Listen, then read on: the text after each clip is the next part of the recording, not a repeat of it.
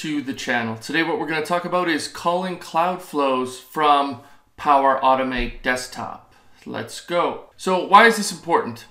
And first off, before I uh, get too deep into the content, shout out to Cameron, who uh, him and I worked through this scenario earlier this week. So shout out to him for his involvement in uh, coming up with the solution here.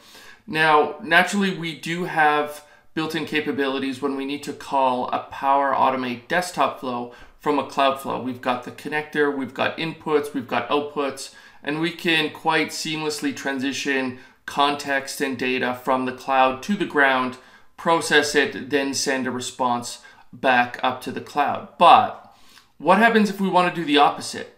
And we want to be able to call a cloud flow from a desktop flow. Now, the caveat here is, you know, in terms of why we'd want to do this, is we might have a scenario where we don't want to return context back up to the cloud just yet.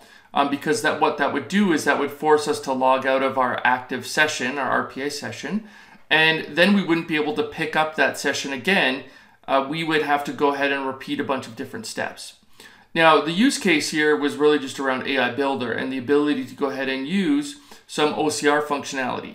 And so what we want to do is leverage AI Builder, leverage the out-of-box connectors that do exist so that we don't have to try to wire all of that up ourselves and as a result make our lives more difficult inside of Power Automate Desktop. So naturally, Cloudflows do have an HTTP request trigger, so we can easily go ahead and call it using the invoke web service operation found in Power Automate Desktop. But as uh, we did experience, there are a few nuances to that. And certainly that's why I wanted to document this and, and show you folks how to go ahead and to do this. Now, this use case goes beyond just AI Builder. There's other connectors as well where we might want to take advantage of the connection experience and the out-of-box experience we get with dealing with different API schemas so that we don't have to figure out all of this stuff manually. This is part of the reason why Power Automate exists in the first place is to make connectivity simple. And that's essentially what we're trying to do here is leverage that capabilities, but just go ahead and call a subsequent cloud flow from a desktop flow. Now, so let's go ahead, let's talk about the demo. Let's see this live in action. As I mentioned, there's a few nuances that we're gonna have to go through, and that's really the point of this video is to show you how to get around some of those nuances. Okay, so let's start in Power Automate Maker Portal, and we're going to go ahead and develop a cloud flow. So here it's a simple cloud flow. We're going to expose an HTTP request. We will use the default post method. And then what we're going to do is we're going to just create a very sample message body. So here I've just got file name and then the name of a file. And sort of the use case here would be we're going to pass in the name of a file or location of a file. We could then go ahead and use the file connector to pick it up from the desktop machine and then pass it over to AI Builder um, in that specific use case. Now, I'm not going to implement the AI Builder as that's not sort of the interesting part of this scenario. It's more about the mechanics of being able to go ahead and call this HTTP request. Now, from a response perspective, I do want to return some data. So I'm just going to go ahead and create a very simple message body. It's just going to have an output value, in this case 30. We'll go ahead, we'll save this, and then what we can do is we can copy this specific post URL. Okay, so that's great. Let's now go transition over into Power Automate Desktop. Okay, so we're back in Power Automate Desktop. I do have a working example here, which I've just gone ahead and disabled. Now we are going to go ahead and use the invoke web service action. So if we type for web, we'll be able to go ahead and find it.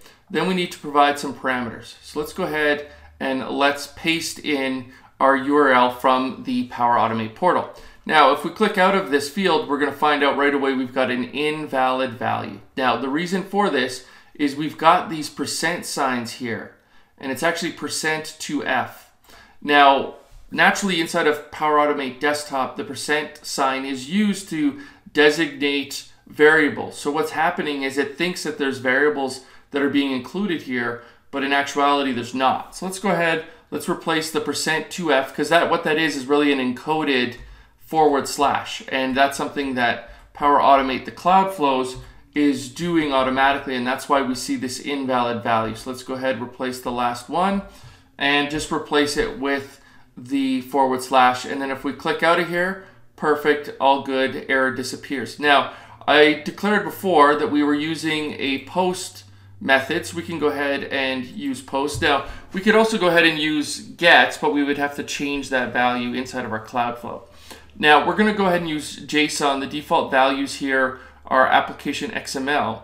And so naturally, when we get a response, we do want it to be JSON. So let's go ahead and just remove the XML. Let's put JSON instead. And then the content type, what is the content type we're going to go ahead and pass in? And same thing, we're going to use JSON here, not XML. So let's go ahead and let's get rid of that. Now, the next thing we need to do, since it's a post, we do need to provide a message body. So what we can just go ahead and do is let's just copy this sample message that we've got here and let's take this data and let's put it in the request body itself.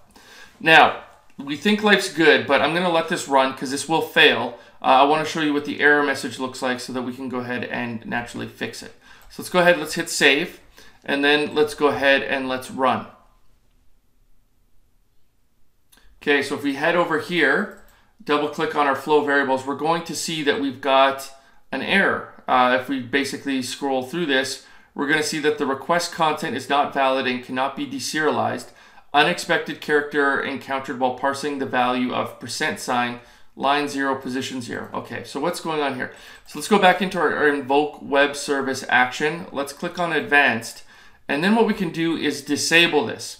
So what's happening here is there's encoding that's going on that isn't necessary in our specific example. We don't need to go ahead and encode this data. We want it to be sent normally um, because it's valid JSON. We're going to be able to process valid JSON so no issue there. So let's go ahead, let's turn encode request body off. And then let's go ahead and click on save. If we go ahead and run it, life's good, right? So now we can go ahead and see that we've got an output value that of 30 that was sent. Let's head back to our Cloudflow, take a look at our run history, and then sure enough, we can go ahead and see that we did receive a an input where the file name was receipt, and then we did go ahead and send a response back out. So there's a few, like I mentioned before, there's a few little nuances that uh, you need to go ahead and take care of inside of Power Automate Desktop. But once you know what those nuances are, it's quite easy to go ahead and to call this Cloudflow. Naturally, we could go ahead and include a bunch of different connectors here or other processing that may be required. Maybe we've got a custom connector and we could go ahead and now call that from our desktop flow and without losing context, right? Without having to log out of a machine and then log back into it and worry about persisting our state. Our state gets persisted because the orchestration now really happens inside of the desktop flow, not inside of the cloud flow itself. So that concludes today's demo. Hopefully you found that interesting and useful. I'm sure at some point in your journey here, you're going to want to leverage a Cloudflow to help out with some additional processing and as a result, you're going to run into those specific situations. If you're not following me on Twitter, I would encourage you to go ahead and do so. You can find me at Wearsy. Obviously, you're on YouTube. Thanks for watching. Like, subscribes, comments, always welcome.